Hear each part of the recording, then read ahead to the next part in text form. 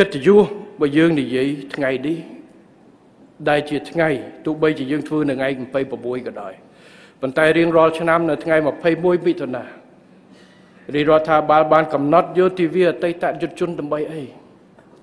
ដើម្បីរំលឹកនៅគុណូបការៈដើម្បីបង្ហាញនៅយុវជនចំនួនក្រោយប្រជាពលរដ្ឋចំនួនក្រោយមិនថា10ឆ្នាំមិនថា20ឆ្នាំ50ឆ្នាំទៀតត្រូវតែនៅបន្តចងចាំ បើចងចាំប្រវត្តិសាស្ត្រទៅចងចាំអ្នកដែលចូលរួមក្នុងការប្រវត្តិសាស្ត្រមិនត្រូវទុកចោល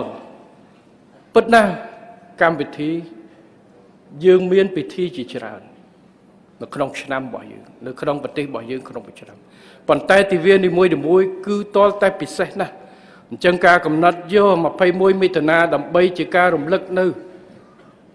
វីរភាពរបស់អតីតយុវជនគ្រប់ជំនាន់ នេះគឺជាកិត្តិយសធំដែលយើងត្រូវតែធ្វើហើយអ្វីដែលសំខាន់គឺបំផុសនៅស្មារតីដឹងគុណជានិច្ចសម្រាប់អតីតយុវជន